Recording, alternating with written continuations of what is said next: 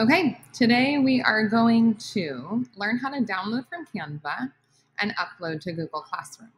So the first thing we want to do is locate in Canva where your text cards are. Once you are in your text cards, you're going to hit the download button. Make sure that this says JPEG. It will automatically default to a PDF.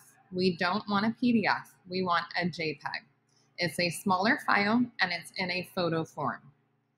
Then you're going to come down and click the pictures that you want to download.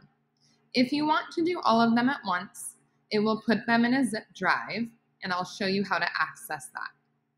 You'll download the photos. They're all going to be together. And then you can locate the file in your downloads. So wherever your downloads are kept, on your computer, you'll click that folder and you'll find the zip drive. As you see, my zip drive is down here titled Matcha Tea number one. When I open that, it creates a Matcha Tea folder. And in the folder has all of my pictures.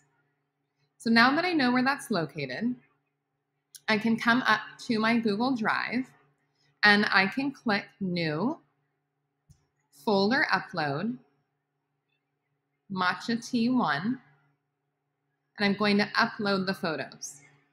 All of these will be in their own file so that they're easy to access. Now, when I go to Google Classroom, I'm going to click the assignment, and up in the top right corner, on yours, it will say add or create. You'll click add or create, go to your Google Drive, and then in your Google Drive, you'll locate the folder and be able to upload straight from there. Most likely, you'll have to upload each card individually.